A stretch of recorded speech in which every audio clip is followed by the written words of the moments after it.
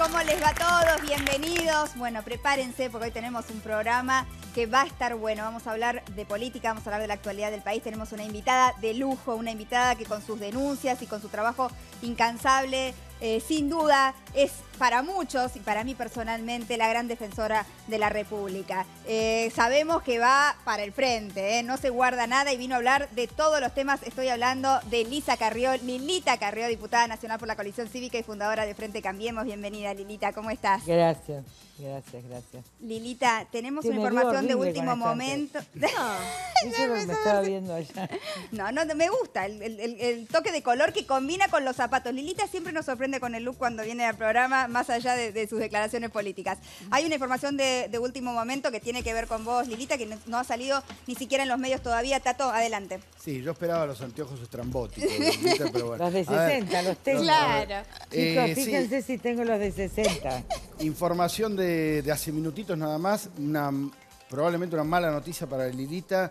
El, bloque del Frente para la Victoria, esto es el kirchnerismo, acaba de presentar una resolución de ocho carillas donde piden la exclusión de Lilita Carrió y de Paula Oliveto, compañera de Lilita, eh, de la Cámara de Diputados, del Congreso. Aquí en sacar del Congreso el argumento es inhabilidad moral. Inhabilidad moral y los fundamentos de esta resolución, que no tiene firma desde todo el bloque del kirchnerismo, es que Lilita, Lilita y Pablo Oliveto se nutrieron de una red de inteligencia, eso dicen, en referencia, en referencia, claro, no oficial, extraoficial, clandestina, digamos, en referencia a Marcelo D'Alessio, este abogado que está preso en Dolores, acusado de armar una red de espionaje, ¿no? ¿Qué, qué pensás, Lilita, de eso? Bueno, en primer lugar, que para mí es un honor que la exposición de la Cámara me la pida el Frente para la Victoria porque la mitad del Frente para la Victoria está preso por nuestras, por nuestras denuncias. En segundo lugar, que me la pida Rossi, porque ustedes saben que está en curso de investigación la malversación de subsidios a los transportes por parte del hermano de Rossi. Eh, y yo creo que es una buena historia, porque que Cristina esté en Cuba con 17 procesamientos y que yo sea excluida de la Cámara, es muy gracioso. Eh, la verdad es que yo quiero ese juicio, quiero ejercer el derecho de defensa, quiero defender a Paula. La verdad es que este chico conmigo habló cinco minutos, me di cuenta... Este chico es Marcelo D'Alessio, el abogado trucho. Lo que pasa es que era sobrino, te decía sobrino Andrés D'Alessio, que fue un gran juez de la Junta eh, y una persona de mi amistad personal de años. El chico era delirante, yo me di cuenta enseguida, la verdad que me dormí porque tampoco... Y quería hablarnos exclusivamente de narcotráfico, del triple crimen.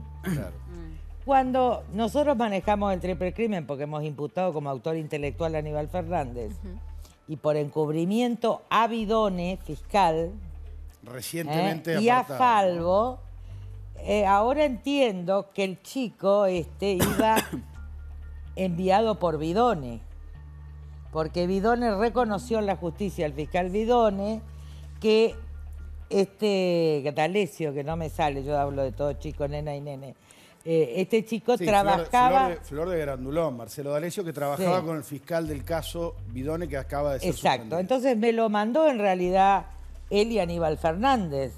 Como las cosas que decían eran disparatadas y nosotros conocíamos, la verdad es que yo la relevo a Paula, porque yo me levanté y le dije, bueno, cualquier cosa que tenga de información... Habla con Paula. Habla con Paula. Y la pobre Paula se ligó... El coletazo. El coletazo. Pero soy yo. La verdad que a nosotros no le creímos un minuto, solo habló de narcotráfico. Tampoco creímos que era de la DEA.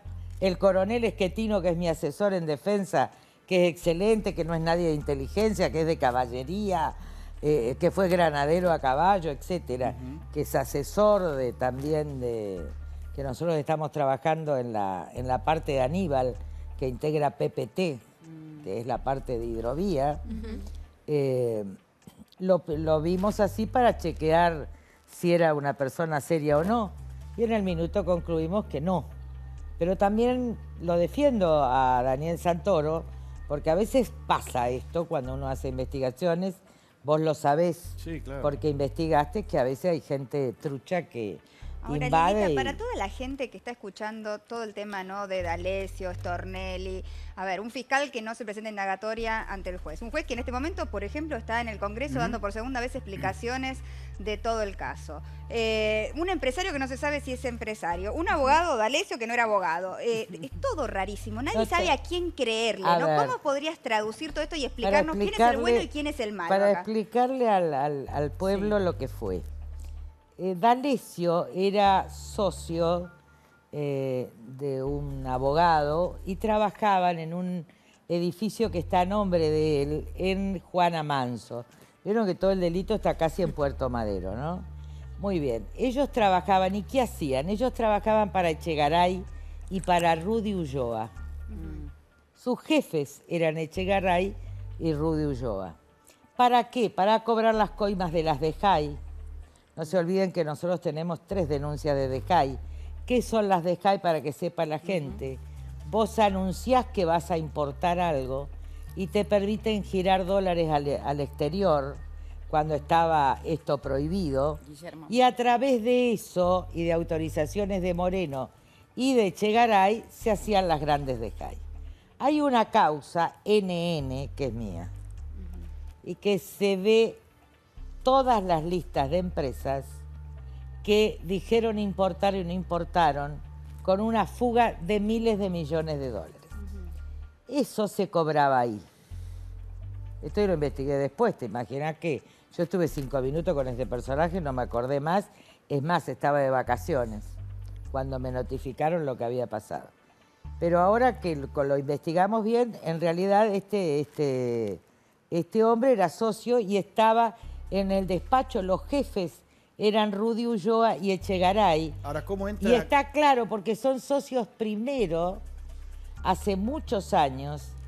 Echegaray era un simple empleado de la FIP en Río Gallegos y era socio en una radio comunitaria de Rudy Ulloa, que de toda la asociación ilícita es el último que todavía falta meter preso. Ahora, ¿cómo entra Stornelli, el fiscal Carlos Stornelli, que es el fiscal de los cuadernos, Mariana, que es eh, que eh, vos entiendo que creés que lo quieren rajar a él y que todo esto es para sacarlo a él, pero evidentemente había tenido una relación con, con este abogado. Pero a ver, con todo tuvo relación. Yo porque tengo poco tiempo. ¿Está claro? Yo no tengo tiempo para andar con... Tengo tantas cosas en el medio y tantos problemas. Pensá vos que yo cuando lo conocí se estaba muriendo mi hijo. Claro. A lo mejor lo tendría más tiempo también, no sé. Eh, lo que pasa es que la verdad que en ese momento eh, yo no quiero acá acusar a nadie y vuelvo a defender. Esto le puede pasar a cualquiera que haga investigaciones. Claro, Por eso pero, defiendo a Daniel Santoro. Pero ponés Eh, en, este- en todo este entramado. Yo pongo las manos, en el fuego, por. Daniel Santoro. Lilita, No por pero- Stornelli. periodista. Perdón, pero No, por la yo justicia. pongo las manos en el fuego por Daniel Santoro. Y por la justicia, Lilita, Está las manos- ahora. Lo que sí había, eh, ¿cómo sucedieron los hechos? Bueno, esta gente trabajaba ahí.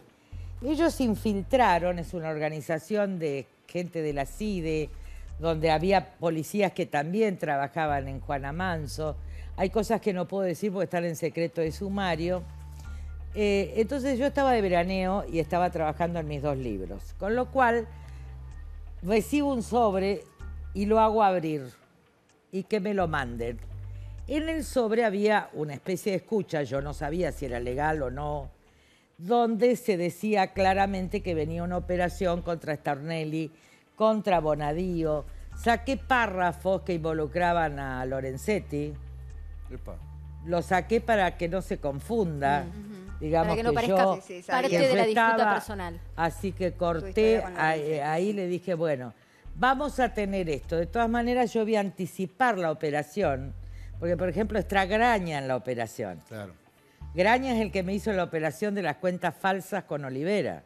Rolando Grania que tenía relación con D'Alessio como fuente. ese es el ¿no? que inició la operación de, los, de la famosa cuenta de Enrique Olivera, que resultó ser falsa y que la armó Alberto Fernández, ¿no? Con- entonces, en realidad se trata de la misma Exide, la de ellos. Eh, entonces yo digo, esperemos para ver si no es...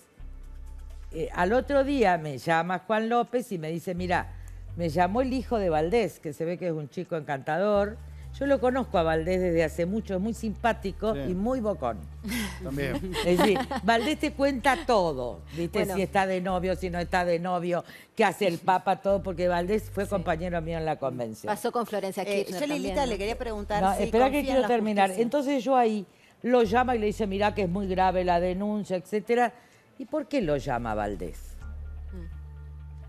Y después D'Alessio empieza a dejar mensajes a Paula, que esos mensajes que tiene Paula son mensajes hechos después de que él es detenido. Claro. Ajá. Está pa- como para involucrarla, es decir, él falta de la operación para involucrarla a, a ella. Convengamos, Lilita, que es raro un juez en el contexto casi de un acto político en la Cámara de Diputados No, no, no. mostrando mensajes de WhatsApp, además enviados. Es decir, no era Paula contestándole, era el mensaje Claro. que él le envía, como si a mí un delincuente mañana me envía un mensaje y Pero eso me claro, a convierte mí en me- y cómplice yo las fotos que me he sacado, yo me he sacado tantas Bueno, fotos que... ¿Y claro. cómo manda un detenido mensajes también, no? Claro, Y bueno. Entonces es una operación muy burda donde está Ramos Padilla. Donde está Ramos Padilla y la verdad es que yo lo tengo denunciado con reserva de sumario.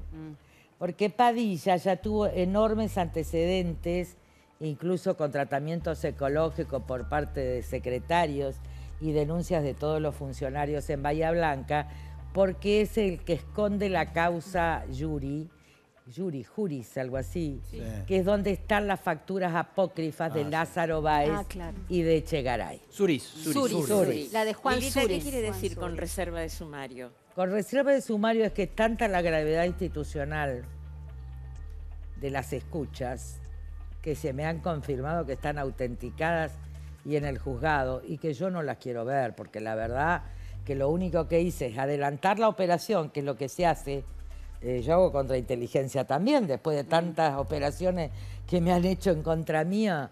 eh, adelanto la operación para obligarlo a Berbisky a salir y ahí comete errores Berbisky porque le meten cosas mentiras.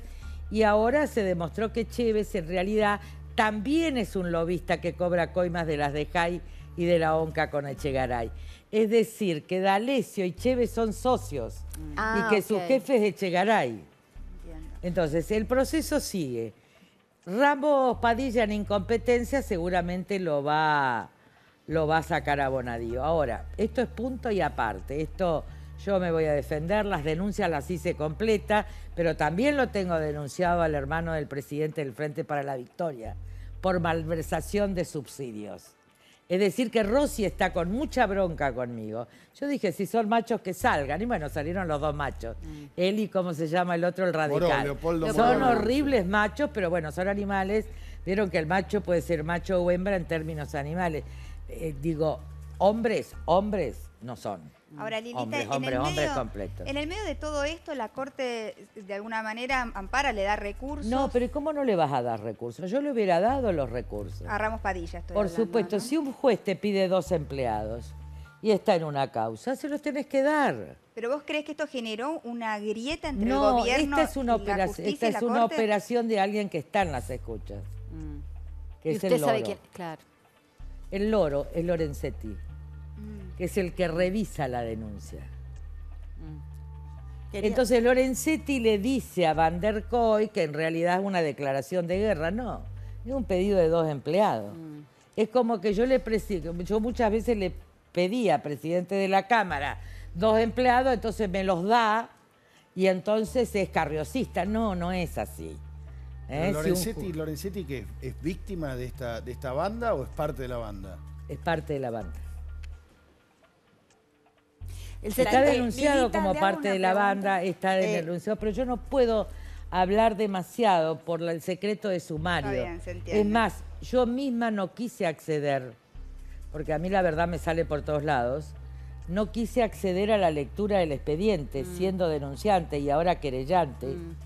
Ahora, Li- Ahora me pongo en querellante porque el pedido de expulsión lo que me permite es ser querellante Exacto. en la causa. Pero Lilita, en el problema no pasa por la justicia. El 70% de la gente no cree en el Poder Judicial. Mire, Con todo la este verdad escenario. es que el 90% de la gente no cree en nosotros mismos.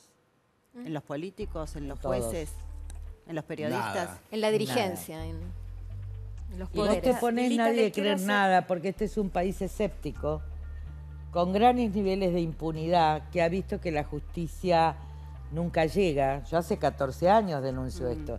¿Se imaginan que hubiéramos tenido 150 mil millones de dólares para el crecimiento y el desarrollo si alguien, en vez de decirme loca, hubiera buscado el boletín oficial?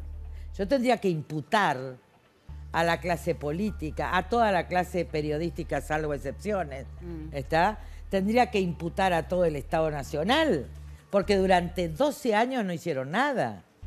Nada. Era la soledad más absoluta, la persecución más absoluta. Me involucraban en redes. Miren, las noticias falsas que hay respecto de mi propia familia que ya quedaron acreditadas su falsedad y ya salieron de Google. Yo nunca, yo siempre callé. Está ahora, la verdad no la van a parar. Ahora, punto y aparte. Vamos a explicar cuál es el objetivo de separarlo a Stornelli. Lilita, y en este marco, en este contexto que estamos de- viendo. después decime lo de Stornelli para que no, Sí, para sí, que le claro, quede claro, claro. al ¿Querés- pueblo. te Vamos a dejar, en- eh, Nat, que termine el, el- el No, concepto no, de no, pero estoy, si querés, lo de Stornelli quiero decirlo clarito. Sí. El objetivo de Stornelli, según lo tengo verificado exactamente yo, que no excluyo a un sector del gobierno. Justamente de eso le quería preguntar. Exacto. En medio de la Yo campaña no electoral, Yo no excluyo a un sector del gobierno. En el medio de esta grieta que hay entre una justicia que usted dice que está tratando de tapar y, de ar- y de- y- y- y eliminar la investigación de corrupción de los cuadernos, ¿es conveniente sus fuertes críticas nuevamente contra Germán Garabano? No, Garabano no es un imbécil, no tiene nada que ver con esto, pobre, Ah. pobre, sacalo.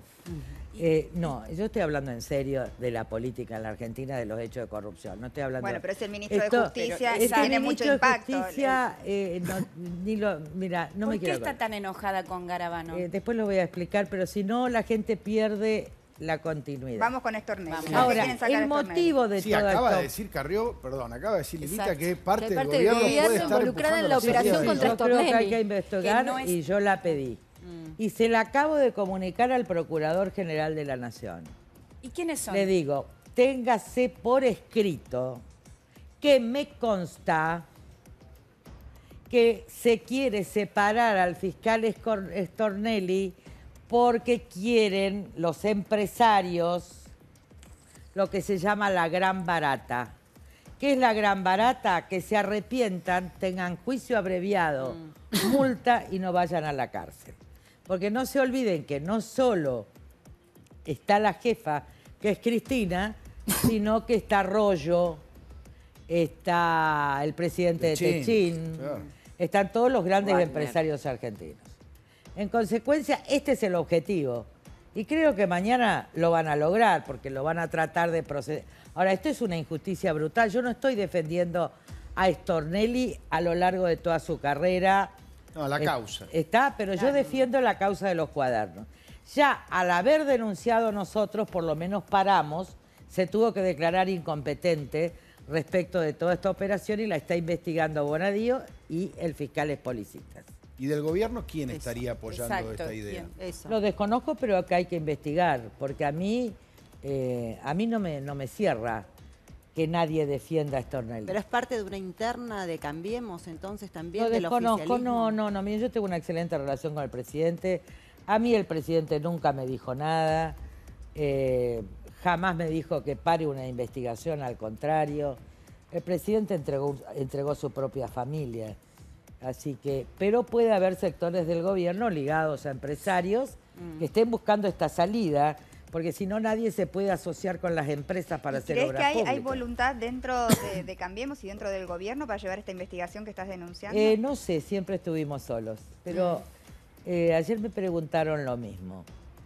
Eh, la, la respuesta que yo les doy es, ¿alguna vez tuvimos gente? Pero, A ver, cuando denunciaba a Debido, ¿había alguien alrededor? Nadie. pero el gobierno, Algunos periodistas. Lilita, el En el informe que nosotros hicimos de obra pública en marzo del 2004, lo hicimos en la sede del ARI y el informe sobre pesca, donde yo decía que habían matado a este, no había un solo periodista.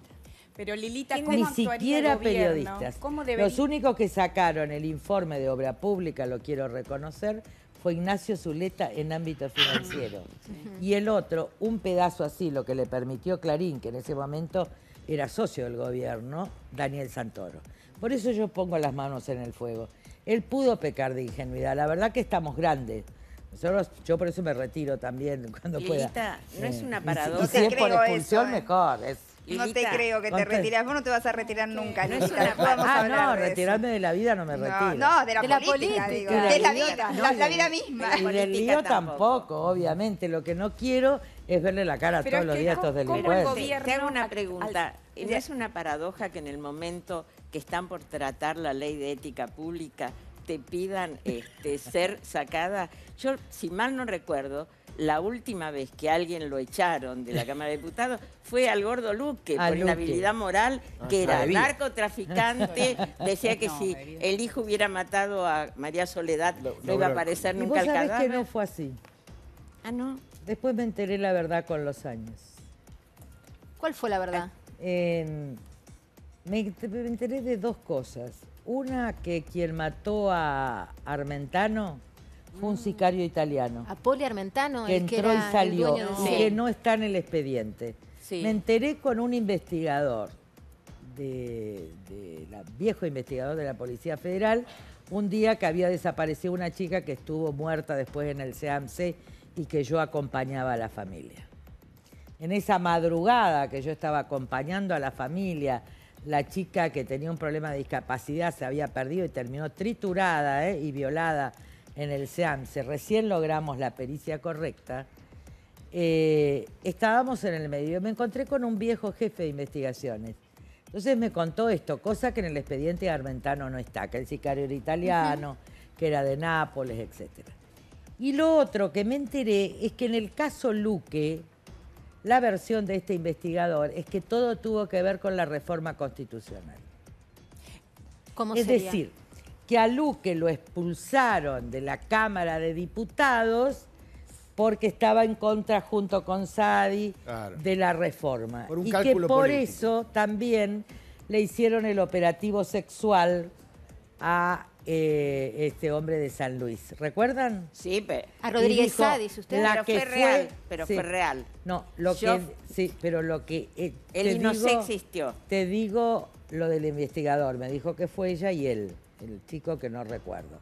Yo te digo lo que encontré en la madrugada, yo no soy parte de esa causa, estoy con las mujeres, estoy con la condena, pero hay cosas que se ven al futuro, que yo las encontré por casualidad, que alguna vez habría que revisar la violencia y el dinero que hubo detrás de la reforma constitucional del 94 que yo desconocí. Muy Lilita, impactante yo quiero insistirle en el ministro Garabano. Yo sé que, que da la sensación de que no quiere hablar más, pero quiero saber por qué está tan enojada con él. No, yo no estoy enojada. ¿Y qué le pasa con el ministro? Eh, me parece, eh, a ver, es lo menos que puedo decir.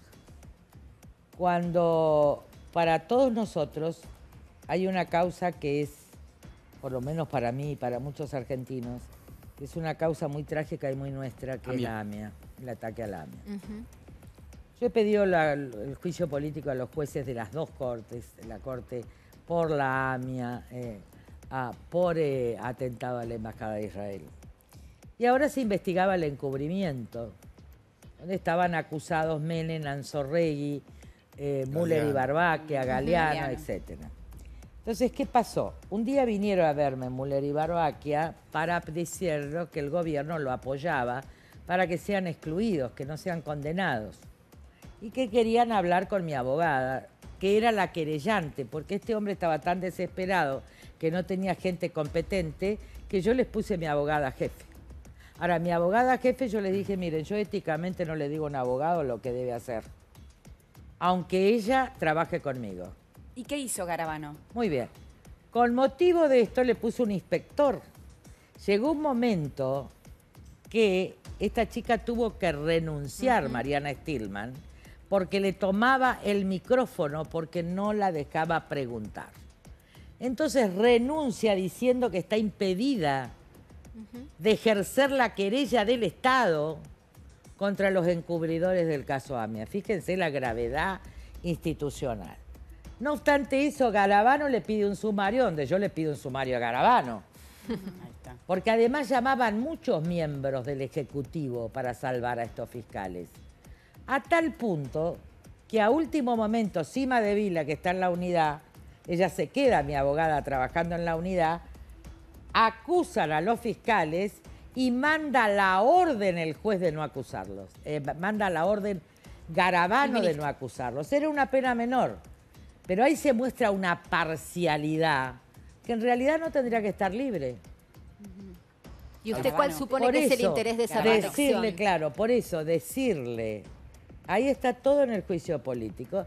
Esto es constancia histórica. El presidente en el lo juicio. sabe, la vicepresidenta sabe más de lo que dice.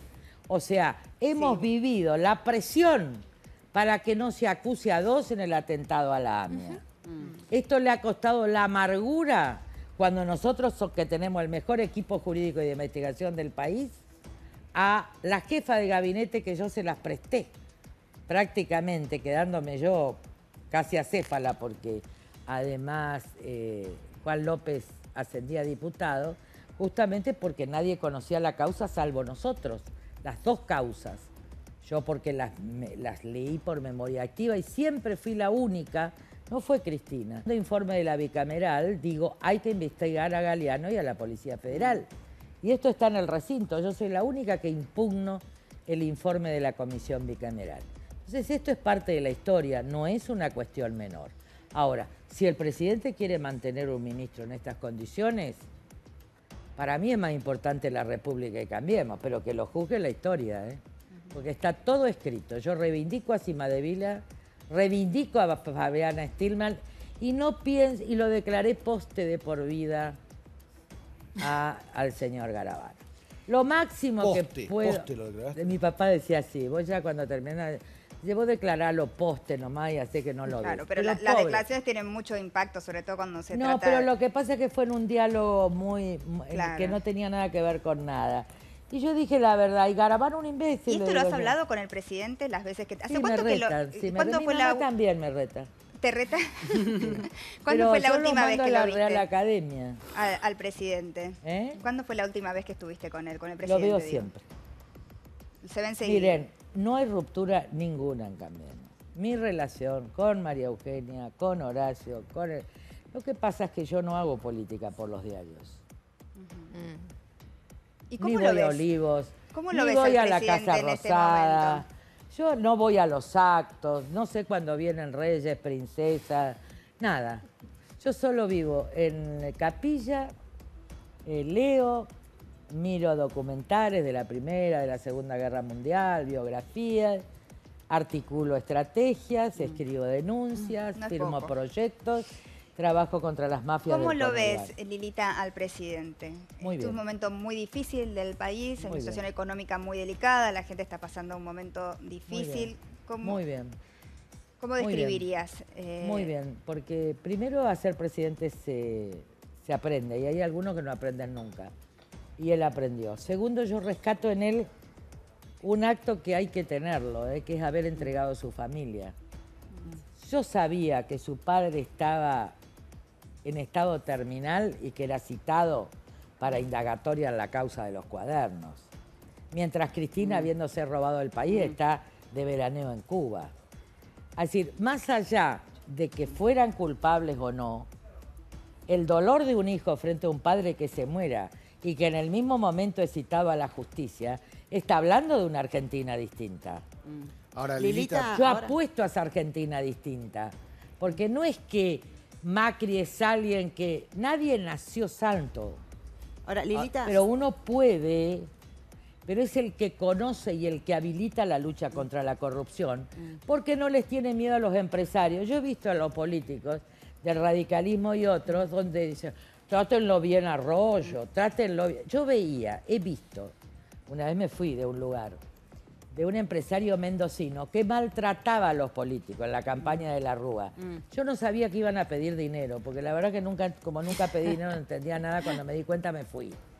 Yo vi el maltrato de los empresarios, rollo, una soberbia, yo lo declaré poste hace 20 años. Yo para mí son todos postes, ¿no? Eh, pero digo, para los otros era el temor. Él no les tiene temor. Ahora, ¿Cuál le parece, Lilita, que es el dale. problema, el mayor problema que hoy tiene el gobierno nacional?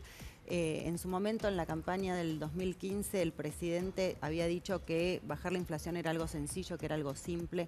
¿Usted cree que, por ejemplo, que la inflación es uno de los ejes centrales de lo que será esta campaña electoral? Primero tenemos que ir a, a un déficit menor porque el déficit por un lado no es de nación, pero se le ha dado demasiado a las provincias. Entonces el déficit estructural continúa. La segunda cuestión es que hay una gran incertidumbre extranjera y nacional acerca de si vuelve Cristina o no. ¿Y vuelve Si un Cristina o no? ¿Qué pensás? ¿Se va a candidatear Cristina? No ¿Cuál sé, es tu pero lo importante es la incertidumbre que crea. Si vos sos, a ver, francés, Mm. inglés, brasilero, y te dicen, vuelve Maduro, ¿vos vas a invertir en Venezuela? No. No. Si vos sos venezolano y trabajás en Venezuela y producís, y te dicen, sigue Maduro, ¿vas a invertir?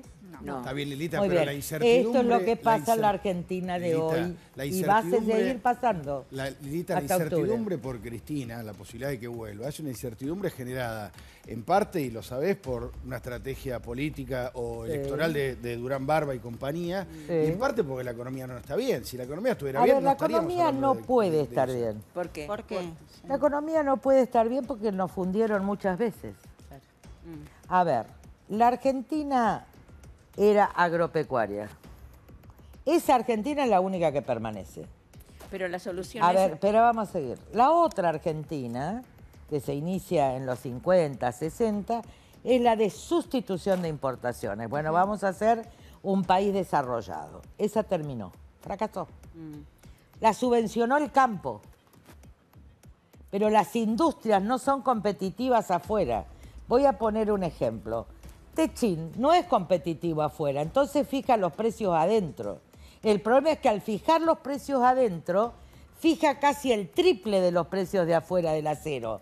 Con lo cual la metal mecánica, que es la que mejor produce en el país, no puede exportar, porque el precio del acero se lo fija una sola empresa, que es Techin. Antes, el precio de, del Portland se lo fijaba una sola empresa, que era Malita Fortabat. El precio del azúcar, Carlos Pedro Blaquier, un país corporativo, donde 10 el vidrio, Polisur, eh, perdón, el plástico, Polisur, el aluminio, Madanes, que tiene por ley eximida para ganar electricidad. Bien, pero- Entonces, esta es la corporación económica que financiaba la campaña política, en mi caso no.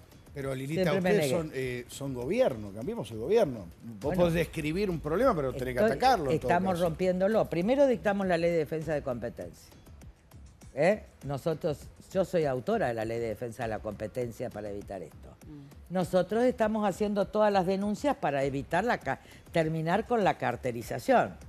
Y de hecho yo me estoy por ir a acostar a los supermercados porque me voy a poner como tercera edad en el piso, que están abajo las mercaderías más baratas y no me voy a poder levantar. Mm. O sea que me van a tener que levantar y llevar por ciática a un hospital. Sí, y en las góndolas las Eh, eh, la ley de góndolas, que, La ley de que góndolas. es la que nos queda. Entonces, y hay que hacer las denuncias. Ahora, no nos pidan más a la coalición cívica, ¿eh? No el- nos pidan más a la coalición cívica, le digo al pueblo de la nación. Con respecto Tenemos 10 diputados nacionales. Pareciera que yo soy la responsable de todo lo que ocurre en la nación. Y cuando me votan a presidente saco el 1,8. Así que, señores, pueblo de la nación argentina, vaya a reclamar en el lugar adecuado. Pero, yo ahora- respondo hasta entre las 500 mil Sí. personas que me votaron siempre. Pero además usted es fundadora de la coalición de gobierno, por eso, todo. sí, bueno, por eso también se le reclama. Y volviendo a lo que Pero decía está bien que me más reclamen, allá pero de lo que cómo- quiero decir... Pero más allá de cómo Yo intervinieron te los quiero pelear un poco con el pueblo. A ver, en este sentido... Yo nos está provocando. Yo lo que entiendo los que amo. nos está Yo provocando. amo al pueblo argentino. Pero díganme, Pero- ¿no han votado ladrones durante años? Sí, claro. Y después se quejan de los ladrones que votaron. Ahora, ¿cómo se No, imagina? bueno, pero además, además de tener empresarios carterizados, que tienen monopolios, que no actúan como usted describió, además hubo errores macroeconómicos que son Sí, sí, patrimonio sí, pero vamos a empezar. del gobierno. Miren, yo peleo por la República y ya la tenemos. Va a ser el primer gobierno, después del Marcelo T. de Alvear, que termine su mandato sin un golpe, o militar o PJ. ¿Y cómo se imagina su vida si gana Cristina y es presidente? ¿Qué hará? Si es... Presa. Pero me encanta esa experiencia. Mire, a ver, yo lo que quiero es que propolio me dieron. Yo necesito crema, la Biblia, un collar de perlas Claro. y aceite de oliva. No necesito Lilita, más. Sigue, estoy sigue siendo una Lilita el mejor candidato del oficialismo. Mauricio Macri, el presidente de la Nación para estas elecciones. La Miren, a mí me no parece que dos mandatos de un gobierno, bueno, regular, etcétera, o excelente, Mm. porque nosotros somos, queremos magia. ¿eh? Eh, Esto, esta es la Argentina, yo me acuerdo de la Argentina del primer mundo, chicos, Mm. era para reírse, dábamos vergüenza. La de Menem, dice Miren, usted. yo Y lo tenemos en el la mundo Cámara de desde chica. Hay momentos en que recorría el mundo y no se podía hablar porque éramos la dictadura. Éramos como ser nazis. Mm. Habría otro momento que no podíamos llegar de la vergüenza y la risa que causaba Menem. Mm. Me acuerdo de estar en universidad en Estados Unidos ¿Y ahora cómo y ven llorar de la risa. Después, durante la época del kirchnerismo, el fascismo este de izquierda, está y las joyas y las carteras que se ponen arriba de la mesa para ver las marcas. Bueno, los papelones. Yo me he pasado teniendo vergüenza. A ver, cuando iba a la convención constituyente, yo que amaba la constitución, ustedes no saben cómo yo enseñaba esa constitución aún en la dictadura, porque yo amo la constitución, es parte de mi vida enseñarla. Y entonces cuando yo veo a Menem con, la, con, la, con el... eh. Con el bichito, con el gato. Sí, el. Al lado estaba Dualde, que tenía unos tacos postizos y un batido. Al lado estaba Palito Ortega. Imagínense yo, profesora titular de Derecho Constitucional con dictamen de sobresaliente. Al lado estaba el Lole, que en ese momento era el más bueno de todos, pero era corredor. Claro. Y yo decía, estas personas van a poner las manos en esa constitución que yo amo y me acotaba de Gorostiaga. En el medio de ese acto, que estaba ahí, entra Adelina de Alessio de Viola, con un tapado de bisón al mediodía, en Paraná, donde la gente de provincia somos absolutamente sencillas, hablando de Perón. Y saben que yo volví a mi casa y quería renunciar. Esta es la Argentina política en la que yo tuve que luchar. Y gracias a Dios estoy espléndida porque no pudieron ensuciarme. ¿Y cómo está la Argentina? Yo creo que hay un sector del pueblo argentino muy importante. Eh, nosotros somos muy histéricos, primero, como pueblo, ¿no?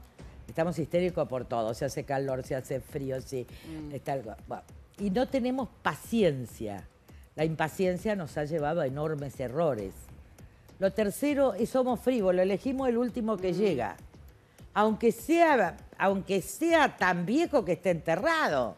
Digo, si lo vamos a votar a la baña, votémelo a Perón. Pero vos te Pero el parece tema que es la que gente que no... gobiernen los muertos. Ahora, Esto Lilita. Lilita, Lilita, un- eh, o sea, la, la gente, yo creo que hay un gran sector que, que está teniendo muchísima paciencia Sí. y mucha tolerancia. Sabemos Sí. que hay gente que la está pasando mal, ¿no Muy cierto? mal. Los ¿Qué le dirías a jubilados. esa gente, digamos? ¿Qué es Yo lo les que voy a viene? decir una cosa.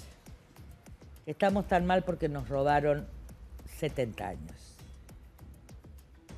70 años.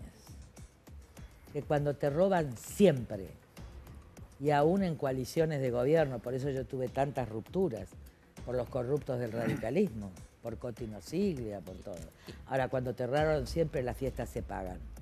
Yo vendí el auto ayer para pagar la tarjeta. Lili, Así de simple. ¿Vendiste Lilita, el auto? al ¿Vendí el final auto? lo vendió. Vendí el auto, ayer lo transferí todo. Ahora, ¿estamos pasándola mal? Claro que la estamos Y hay gente que la está pasando Los muchísimo jubilados, peor. Lilita, los Ahora, jubilados. la actualización que viene es muy alta porque es la del año pasado. La actualización, igual no Pero te crees alcanza.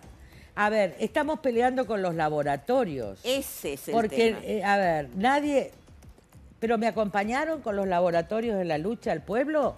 ¿O todos los programas se llenaron de la propaganda de Silfa, que es la corporación que une a los laboratorios? Digo, seamos sinceros. Todos los programas televisivos se llenaron de la propaganda de Silfa. Ahora, Silfa es la que une a los laboratorios, que nos cobran mil veces el medicamento. Y no es contra ellos, pues son amigos míos. Es por el precio justo para los argentinos.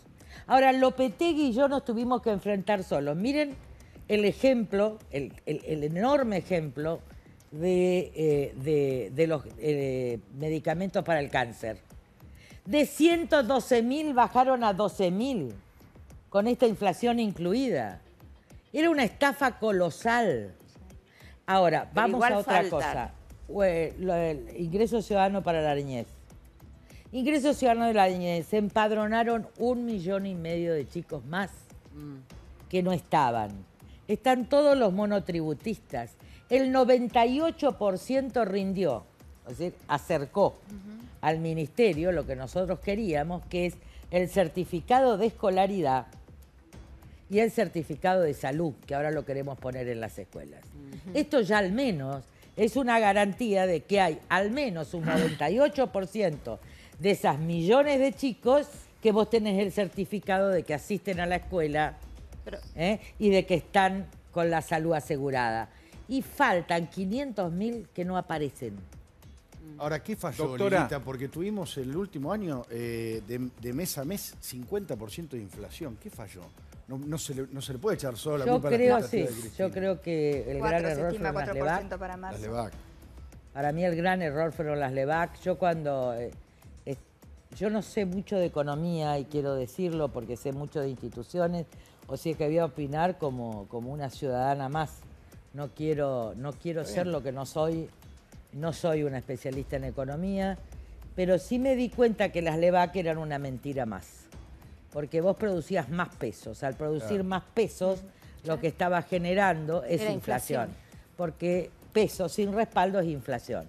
Creo que este fue el gran error, que había que decirle a la sociedad la verdad desde el principio, que estábamos quebrados, que no había que jugar con las LEVAC. Y creo que igual sí comparto que la transición tendría que ser más ordenada. Ahora, por ejemplo, miren, se está ordenando algo de tarifas. ¿Por qué? Porque como antes, debido les pagaba directamente a las empresas, nadie medía. Nadie medía. Si no interesaba esa plata. Llegaba a 0,50 en la recoleta. Sí, pero Lilita, la gente está sintiendo Esperá. el- el- que las, Sí. las tarifas aumentaron Sí, un está. 50%. Ahora, se va la tarifa y gente que en enero, te estoy diciendo porque estamos nosotros tratando con lo mismo, yo me enfrenté con Edesur y los de Edesur saben que voy por la cabeza de ellos. Si no contestan a la gente y no reparan.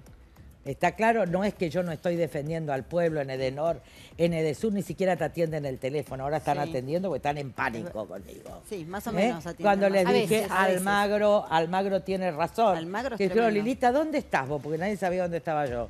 Justo enganché lo de Almagro. Y tienen Sí. razón. A mí no me contestaban. A mí me pedía el barrio que. Ahora, facturas de 8.000 llegaron 300.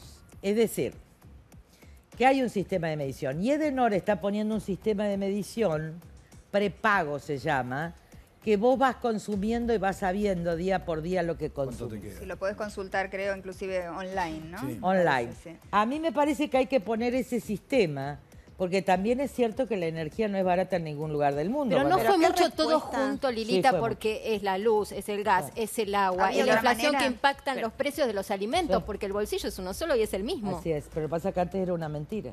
Pero No, los sí. impuestos, Pero había otra manera de hacer las Claro. cosas. Yo y lo los hubiera impuestos, hecho Lilita, en, por ejemplo, el aumento de tarifas lo hubiera hecho en seis meses, diciendo y primero poniendo bien el sistema de medición. Primer paso, sistema de medición y de Claro, atención. empezar por ahí. Segundo paso, cuotas que vos vayas previendo cómo te va a aumentar. Tercer caso, los casos de excepción y los casos de comercios minoristas Eh, que eh, requieren mucha electricidad afectados. y que la verdad se les iba la Recién eh, eh, hablabas de la dije, gente, ¿eh? ¿no? Hab- Hablabas este, de, de- de la Pero a mí gente. no me eligieron para gobernar. Pero yo te quería preguntar, ¿qué le dirías? Ahora esto a Juanjo, a Juanjo, ¿cómo se llamaba Juanjo? Qué Aranguren, bueno. Aranguren. Aranguren. Aranguren, Juan sí, José Aranguren. Aranguren. Juanjo yo lo reivindico por un hombre honesto, un hombre bueno. Ahora, duro, duro. Ah, Vasco. Te digo por Dios que lo llamaba en estado de desesperación y lo quiero. Pero yo no sé si son ingenieros, este ingeniero está más blando el presidente. Pero mi hermano también está más blando después de 50 años que lo torturamos, mi hermano mayor y yo. Pero digo, tan duro de no entender. ¿Saben lo que le pasaba a Juanjo? Él quería ser un héroe de reequilibrar las tarifas. Y no veía el costo que eso significaba Claro, sí. en el otro. fue Yo creo que hay un de- pecado de, este gobierno. De, mucha exce- de mucho Excel y poca sensibilidad. ¿Vos crees que fue No. así? ¿Le falta calle? No, no, no. Hubo una gran discusión. Sí, sí. A, a Juanjo le faltaba calle. A Juanjo le faltaba calle, pero una buena persona que le faltaba calle. pero a la Al gente- presidente le faltaba un poco de calle y se enca- le encantó Juanjo. Ahora, la que siempre tuvo una gran sensibilidad María y luchó es María Eugenia y Carolina Stanley. Yo voy a reivindicar a Carolina Stanley, porque este- Carolina Stanley, mire, tuvimos una Navidad en paz. Carolina Stanley siempre es la que en el gabinete pone la composición. Ahí lo voy a reivindicar a mi amigo, como dicen, ¿cómo se llama? Eh, al que lo sacaron. Lopetegui. Quintana. A, que, a Quintana. Quintana. Quintana. Quintana. Que yo volví a Quintana. hablar con el presidente porque volví con Quintana. Claro, es verdad. Eh, Yo volví con Quintana. Quintana tiene sensibilidad, toda la parte de urbanización de villas que se está haciendo en la ciudad de Buenos Aires, vayan a ver. ¿Te gustaría Carolina Stanley como vicepresidenta? Yo no lo voy a decir. Yo Pero no sí. hago política por los medios. ¿O María Eugenia? Yo las quiero, el- nuestro candidato a presidente de las tres es Macri. No va a haber paso dentro de No Cambiemos. hay rupturas entre nosotros. Hay un núcleo muy grande que lo integra también Horacio. Mario Negri y otros eh, eh, que a- a- no lean los diarios. Porque la verdad que mientras los diarios aparecen peleas, nosotros estamos comiendo juntos. Ahora, la política no se hace por los diarios. Vos cuando salís con alguien no le avisás a todo el mundo, venía al programa y decís, mira, esta noche voy a estar en tal lugar y voy a cenar con fulano. Algunos lo hacen, ¿eh? algunos lo hacen. doctora, eh, doctora, mediáticos. yo le quería cambiar un, un segundo el Sí, sí. tema, porque hay otro de los problemas que realmente aqueja a la sociedad argentina y es la inseguridad. Esto. Usted misma en su exposición ha hablado como de 50 delitos en este rato que ha estado Sí, aquí sí, con nosotros. Con la composición anterior de las cámaras, hubo una comisión encargada del Código Penal con prestigiosos juristas de todos los partidos con representación parlamentaria. El doctor Arlañán, el, el doctor Gilavedra, el doctor Pinedo. Ese proyecto quedó en nada. Ahora, una nueva comisión a cargo del doctor Borinsky, también un prestigioso jurista reconocido, y tampoco se avanza en el Código Penal, y estamos con un Código Penal del año 1920 lleno de parches. Parece un traje de payaso, sacan un parche para poner otro. Le voy a contestar las dos preguntas. La primera comisión no tengo respeto intelectual. Porque no pueden hacer el código penal quienes defienden a los delincuentes. Estoy hablando de Aslanian, estoy hablando de Gilavedra. La segunda cuestión es que esto la tiene que tratar la segunda comisión respecto absolutamente el carácter intelectual y la independencia porque es juez en este caso de Boric. Y digo para precisar las cosas porque si no quedo convalidando algo a lo que yo me opuse en materia de Código Civil.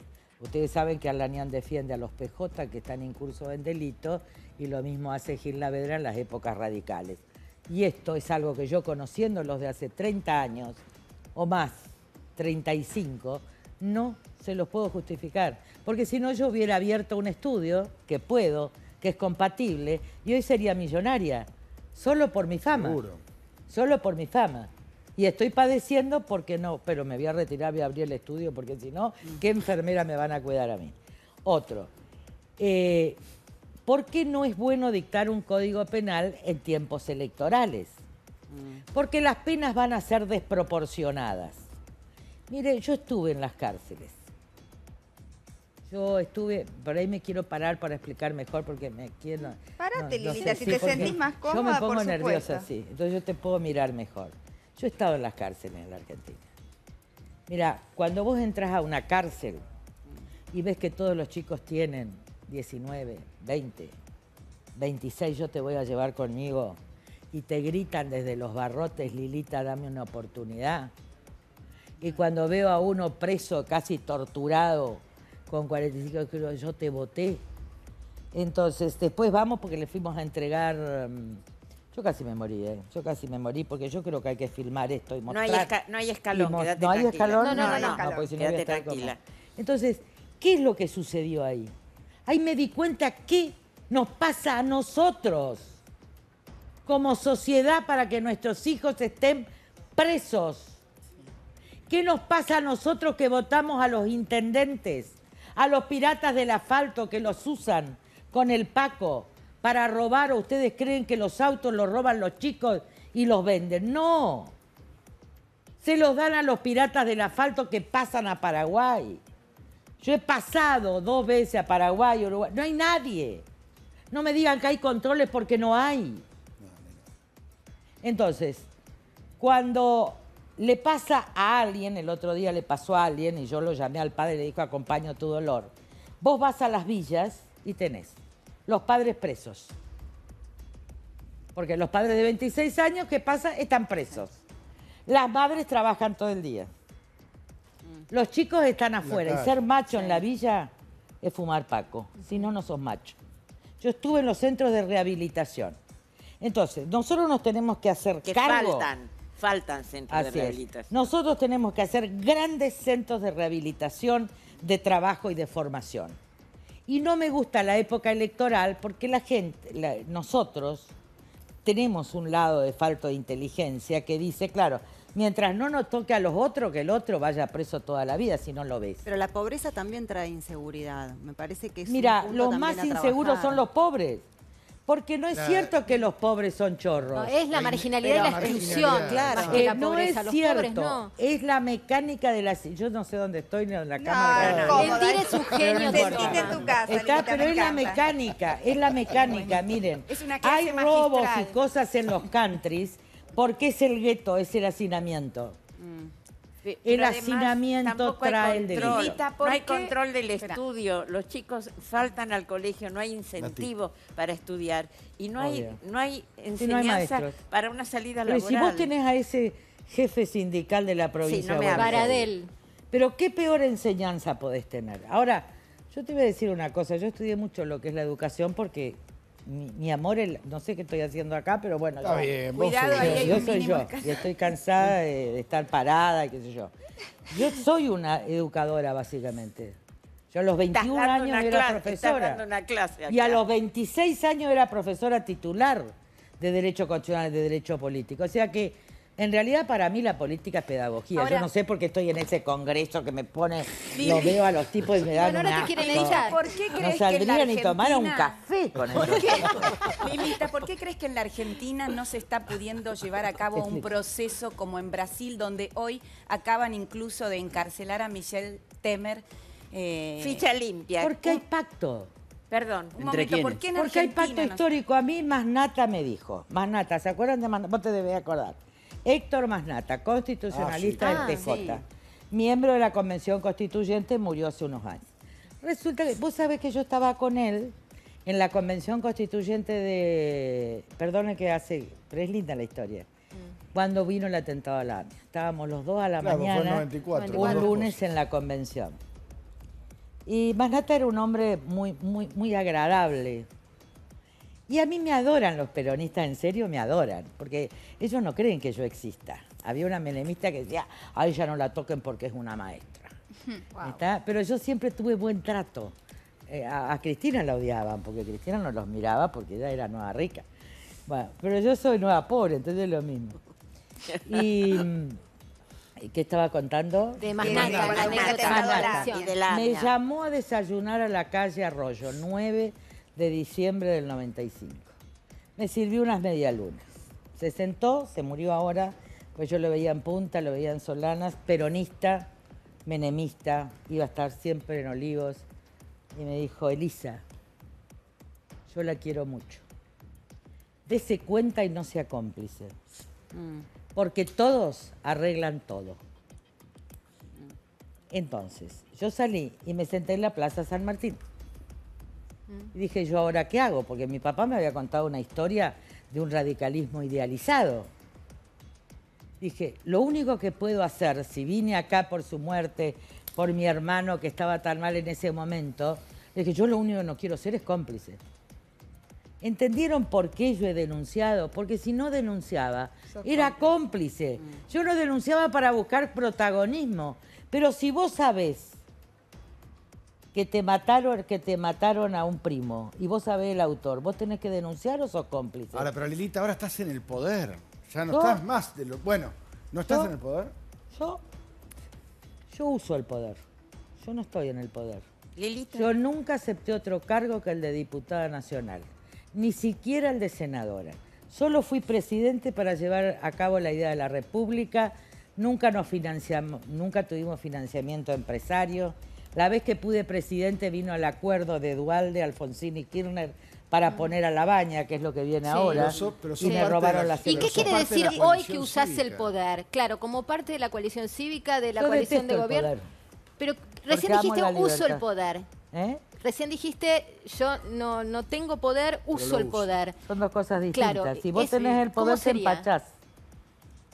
¿Y usarlo? Por ejemplo, hay gente que está llena de poder y en consecuencia o es un canalla o es, ¿vieron esos agrandados que Megalómano. vienen? Claro, o sea, eh, u otra cosa es usar el poder. Cambiemos en Pachoya. Usar el poder Eso, es... quiero saber eso, ¿qué el es? poder es una energía que circula.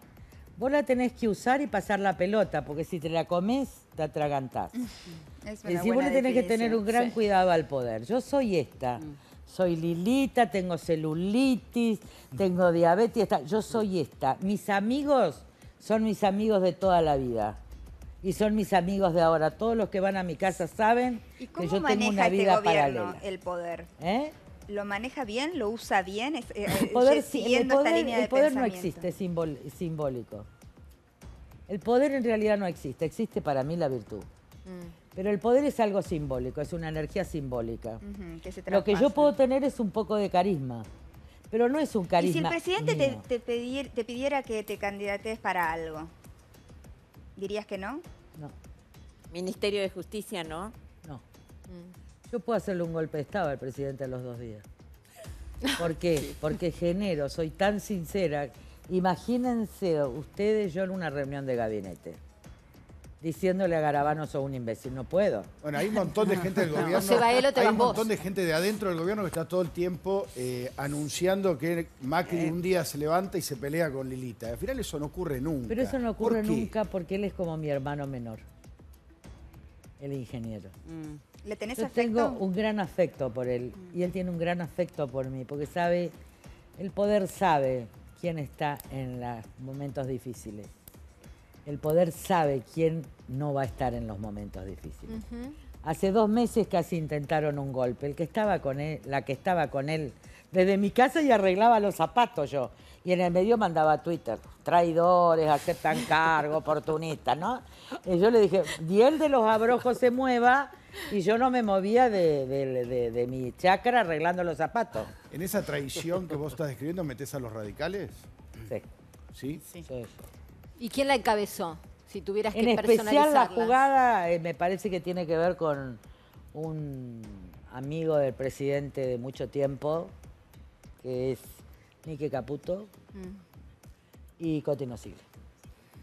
Voy a hacer una son pausa los que con estos operaron títulos eh, tan ¿Quieren más tan nombre? fuertes. ¿Quieren más historia? Me tengo que ir a una Igual pausa. vean la autobiografía de, de Ignacio Zuleta, que ahí va- yo digo todo, porque no tengo nada que esconder. Enseguida continuamos con Lilita Carrió que se queda con nosotros y como siempre Uf. da mucho Dios. título.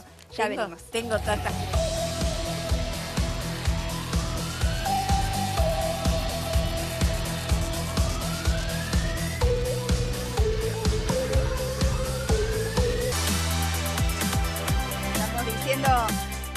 corte, Lilita, que a partir de ahora queremos que todos los invitados se paren. Porque la verdad que hasta ahora no había pasado nunca, pero a mí me encantó. Pero es que no aguanto yo. Nadie aguanta parado, vos no aguantás sentada, vos sos al No, revés porque que yo todo. expliqué claro. así, yo estaba como... Claro. Necesitabas. En las encanta. clases mías en la facultad había más de 500 personas. Me Mis alumnos eran 50. Pero se daban el aula magna, estaba rodado, entonces yo caminaba de un lado a otro. Ahora cuando me con amenazaron con las balas, los de la cámpora me pusieron, ahora vamos por tus hijos, me pusieron las balas Ay, Dios. en el último discurso del 2015. Entonces yo caminaba de un lado a otro para que no me enfoque la bala. Dios mío, qué ¿Qué le pasa a ella? Ya continuamos, Lilita. Empezó el cole, reencontrate con tus mejores compañeros, llévate siempre un bagio pronto en tu mochila. Ahora también sin azúcares agregados, tan rico y con tanta fruta como siempre y muy saludable. Empaque individual para llevar a todos lados. Bagio pronto, mucha más fruta y salud en tu vida. Muchas gracias, Bagio Pronto. Vamos a hablar un poquito de la oposición, de la de ahora que se viene. Este, quisiera saber cuál es el candidato que vos ves este, mejor, ¿no? Eh, o, más eh, posible para enfrentar a Macri. Así que ahora nos vamos a meter un poquito con eso que no hablamos hasta ahora. Me, me mira, empieza a, ca- a carburar la cabeza de Lilita. ¿Sabías que cada edad de la piel necesita un candidato distinto? Por eso la línea antiarrugas más de Nivea tiene una crema facial para cada edad de tu piel. La edad es solo un número. Mira, Nueva línea Nivea antiarrugas con el ingrediente para cada edad de tu piel. Más 35 humectante, más 45 reafirmante, más 55 revitalizante. Todas con ingredientes antiarrugas y protección solar. Probalas a un precio increíble. Muchas gracias, Nivea. Nos vamos a una pausa rapidísima. Este es nuestro bloque cortito, pero enseguida estamos de vuelta para seguir hablando con Lilita Carrió, nuestra invitada del día de hoy. Ya venimos.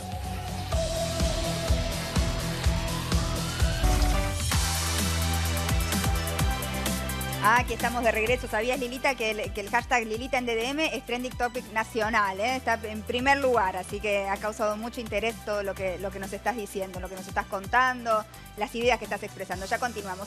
En la ciudad se están abriendo escuelas donde antes no había. conoce el plan 54 nuevas escuelas en www.buenosaires.gov.ar barra educación. Mira, Estamos abriendo escuelas donde antes no había. Generamos más de 4.700 nuevas vacantes para que cada vez más estudiantes desarrollen su talento acompañados por sus docentes. Juntos estamos transformando la educación de la ciudad.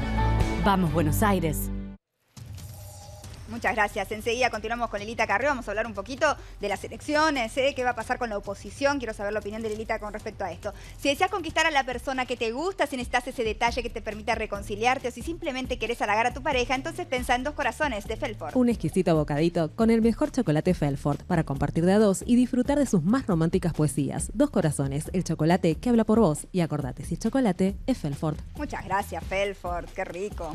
¿Comés chocolate, Lilita? ¿Te gusta el Tengo chocolate? Pero como chocolate. Ah, claro, es verdad, te tenés que cuidar no con le- los dulces. no le digas. ¿sí? Picarona. No, no, bueno, No, pero te que tiene que cuidar, se tiene que cuidar. Pero Es- como un poquitito. a la un vez. poquito, ahora la vamos a cambiar. Este año la vuelta al cole se arranca muy arriba. Pasa por IPF y llévate un kit de útiles escolares. Siempre vienen bien. Ya sabes, pasa por IPF y con tu carga de Infinia, tu compra de Ion o tus consumos en full más 2.600 kilómetros Serviclub o 260 pesos te llevas un kit de útiles escolares. ¿Qué estás esperando? Pasa por tu IPF más cercana y aprovecha esta promo sobresaliente.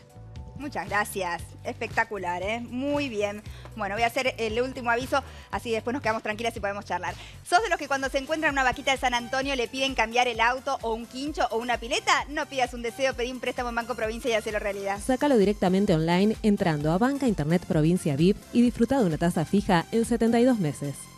Muchas gracias, Banco Provincia. Bueno, Lilita, nos fuimos a la pausa antes y yo te preguntaba a quién ves como el candidato que va a enfrentar a Macri. No veo, no soy vidente. ¿La No baña? veo. No veo, no veo. Creo que todo se va a definir más claramente en junio. Eh, puede haber, eh, también todo depende de lo que haga el PJ con Cristina. Yo lo que veo es una jugada de ir sacando a Cristina por parte del PJ, acumularle prisiones preventivas, que las merece, y eh, porque hoy, hoy, por derecho y por la ley que yo dicté, ella tendría que estar presa. Uy, uy, explotó algo acá en el... No, se explotó una luz. está muy caliente. La pregunta que se hace A ver, la ley dice corresponde de derecho. Cuando ahora que confirmó la Corte, no es que el Senado tiene facultades para decir que no. Con una prisión confirmada por la Corte, Cristina tiene, está de derecho. Falta la declaración de derecho del Senado. Vos decís que no podría ser ni siquiera candidata. Eh, ¿Por de no? hecho, de hecho, lo que dice de que de acuerdo a la ley tiene que haber procesamiento firme no es cierto. La exención que tienen los diputados y los senadores es de arresto. ¿Para qué? Para impedir que te cambien el quórum. Por ejemplo, vos estás por votar una ley muy pareja. Claro, claro. El caso Alem, ¿no? Lilita, ¿por qué no sale ficha limpia? Que Marcela Campagnoli Ya la presentó? presentamos, bueno, Sé está- que se presentó, pero ¿por qué no la votan? Porque la mitad se tendría que ir. Tienen que cerrar el Congreso. Obvio. Pero bueno, eh, la verdad, querida, que yo eh, tengo 10 diputados, ellos se ocupan eh, de sus comisiones, pues yo tengo 250 investigaciones en marcha desde Asunción, por toda la hidrovía, por San Lorenzo, por Campana, estoy amenazada de todos lados. Estamos allanando más de, eh, con Mónica Frade, eh, se allanó Florencio Varela, Quilmes. No, no, no saben. ¿Cómo es lidias? una lucha. ¿Cómo lidias feroz. con las amenazas? El, eh, ¿Tenés miedo a veces? ¿Cómo, cómo lidias con eso después de tantos años, ¿no? De sufrir. El otro día vi una serie del cerebro humano, ¿no? Mm. En History Channel o alguno de esos. Que me quedo a la noche con mi cigarrillo, y mi, mi chocolatito, todo lo que no puedo hacer. y, y mi café, ¿no? Y decía que teníamos unas amígdalas, pero acá en la cabeza, ¿no? Que son las del miedo. Sí. Entonces yo dije, yo no debo tener amígdalas. Porque eh, en el fondo lo que tengo es mucha fe. Y además no me importa morir. Todo miedo es miedo a morir. Lilita, desde- Mira, si a mí me excluyen de la Cámara es un honor. Es una buena historia de entrega. Si pierdo como luna, a ver, yo creo en Dios. Tuve la más maravillosa oportunidad de tener esa experiencia, que yo sé que es intransmisible. ¿Cuándo fue la última vez que habló con Cristina y qué fue lo que habló con ella? Porque ustedes Creo que un día que compartieron me trabajo retó mucho, Congreso. pero no me acuerdo cuándo. Parece que fue en la comisión de lavado. Esa noche estaba sacada, sacada, pero iba a firmar conmigo. Parece que el problema con Cristina fue que estaba mercado, mercado abierto. Yo no sabía que en mercado abierto estaban las cuentas de Néstor Kirchner. Ah, De Ducler. Una financiera. Entonces Claro, ella de repente tuvo un enojo tan grande, salió en todos los medios porque el marido le ordenó no firmar. Esa es la verdadera historia. Pero ¿Y se la que imagina no siendo candidata? Claro, bueno, es lo mismo, pregunta. se la imagina, Yo no digamos, sé. renunciando, dando un en paso un al Estado costado. de Derecho esto no sucede. No, pero si dependiera de ella, ¿no? Claramente debería estar inhabilitada por Lo razones desconozco. Yo de creo que justicia. ella, eh, si hay justicia en la Argentina, ella tendría que estar presa, juzgada eh, y condenada por lo menos a 40 años de prisión en concurso con los otros delitos. Pero en la nación de la impunidad yo no sé. Lilita, Si tuviera que decir un eh, logro del gobierno de Mauricio Macri y un fracaso del gobierno de Mauricio Macri, ¿cuáles serían? Miren, yo creo en la redención de la Argentina. ¿Por qué? Porque yo hablo de un nosotros. Yo no hablo de este, del otro. Nosotros hemos tenido niveles de frivolidad y corrupción enormes. O cuando eran chicos no le decían a ustedes coimear boletero del teatro para entrar primero. O conseguir un lugar. ¿Qué pasa con esa persona cuando llega a presidente? Entonces, nosotros tenemos que ver, nosotros tenemos que cambiar, estamos en, en cuaresma, tenemos que tratar de ser mejores. Pero y a veces siento que hay un castigo muy fuerte y, un- y hasta como una, una cosa muy terrible, que es los, las víctimas del robo votan a los ladrones. ¿Cómo, ¿Cómo poder entender, cómo hacerle entender a un pobre, solo con la educación? Vayan a ver la, la- la escuela de la Villa 31, porque Chapó Rodríguez Larreta. Yo siempre decía, hay que poner las mejores escuelas en los lugares con más pobreza y esto, la verdad, Me es quedan, que mira, me quedan cambia dos minutos de aire, Lilita. Quiero Sí. que le contestes la, la pregunta a Gisela, porque estoy segura que tenés logros en la cabeza y que hay- fracasos Yo también. creo que hay un gran logro, que es haber establecido la República. Creo que es un gran logro que el hijo de un hombre de la patria contratista esté luchando contra la corrupción. Creo que esto, la verdad, es que tendría que estar haciendo negocios y hoy están detenidos incluso. Y, y su- esto, esto no es cualquier cosa. Eh, la entrega esta me parece que a mí, porque uno no es honesto hasta que no es probado. ¿Y un Este fracaso? cambio de la Argentina. ¿Sabes que yo... Algo pendiente, todo pendiente. todo pendiente. La Argentina tiene todo pendiente. Lo primero, el hambre. Es un escándalo moral que en una nación como la Argentina Haya exista hambre. el hambre. Es- es Nosotros la- tenemos la todo pendiente, pero ¿sabes una cosa? Yo le agradezco a Dios que me haya permitido luchar todo lo que pude, equivocado o no, durante 25 años por esta nación. Y perdí mucho en el camino, pero gané mucho. Así que yo le quiero dar un beso a toda la gente que me apoyó siempre, a la que me apoyó en el 1,8, la que seguramente me apoyará cuando me expulsen de la Cámara de Diputados y yo pueda ser libre. Seguramente sí, pero no importa. Eh, yo les digo gracias a todos y también les digo gracias a todos y muchos periodistas que están acá, porque es mentira que todos somos iguales.